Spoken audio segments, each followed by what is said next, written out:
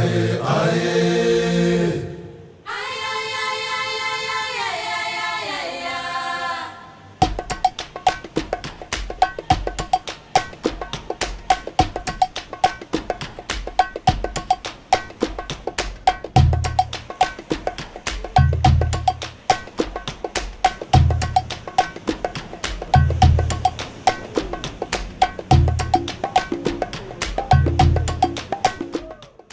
Because of exercising, I can do all the things I did when I was 25, just slower.